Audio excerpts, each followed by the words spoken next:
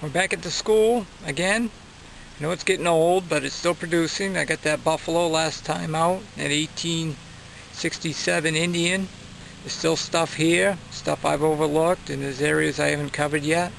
So as long as we keep producing, we're going to uh, stick with the school with an occasional trip to other locations. Okay, I just dug my hole, pulled this out, piece of iron. I figured that was my target. Start throwing the dirt back in staring at me. Green penny. Almost all these green pennies are at least Wheaties, and some of them end up being Indians. We'll see what this one ends up being. Okay, I got a nickel signal, this hole. Worked around this root. Was hoping for something good. All I got, a lump of coal. A lot of coal, uh, especially on this side of the school. They must have burned coal years ago.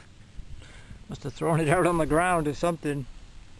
There's a pile of it in here. It rigs like a nickel, so it's hard to ignore, but they, they're always weak signals, and they almost always say 8 inches. And it said 8 inches, but I was hoping it wasn't going to be a piece of coal, but yeah, maybe next time. Out back here, going over an area that I did early, my school hunt. Just trying to pick up on some things I might have missed. We got a little cross here. No, it's not silver. It's ringing like a like a nickel 53 on the AT Pro. But I know I missed some stuff out here, and I can continue to hunt out here even after I think I've covered all the real estate. Okay, we're going to do a review on site here at the school.